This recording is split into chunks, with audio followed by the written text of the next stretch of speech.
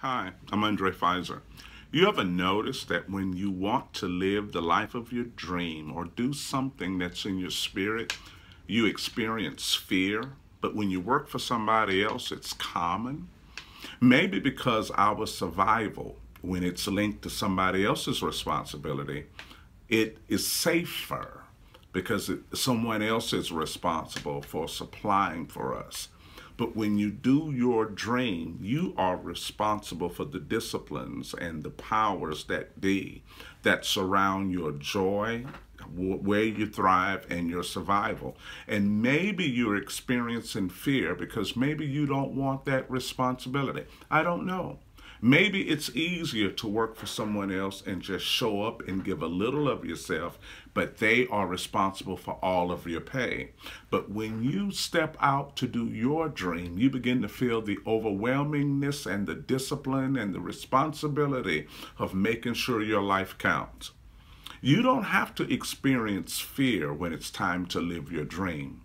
Embrace the responsibility of it. Uh, make the changes where necessary. Dreams are not meant to produce fear. Uh, but maybe it's producing fear because our dreams are coming from us. And maybe I have to ask you, how do you feel about you doing your dream? How do you how do you feel about you supporting you in what you're doing? It's not about other people supporting you. Sometimes your dreams expose the motives and the perspective and the perception that you have of yourself. Dreams reveal how we really feel about how we're living in the world. So maybe that's why it's easier to just work for somebody else and get a check and live on that. Think about what I'm saying. Do you feel good about you doing you? Do you feel worthy and capable in your own hands? Do you feel that you will take good care of you? Do you feel your disciplines will take good care of you? Do you feel your dreams will take good care of you?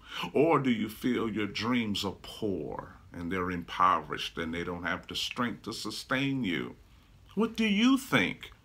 It's all about what you think because people will invest in the passion that you give for you. They're not necessarily buying what you made, but they're being provoked by the passion that you have in living how you live. I'm Undrai Fizer. Think about it.